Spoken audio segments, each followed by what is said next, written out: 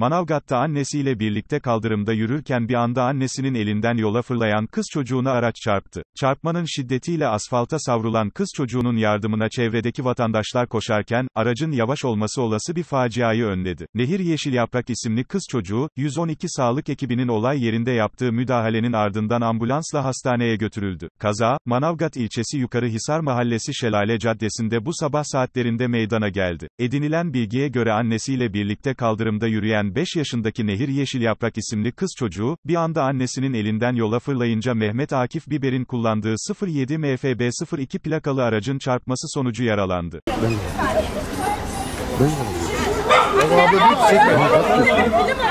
Ona. Bilmiyorum. Ben bir şey demiyorum.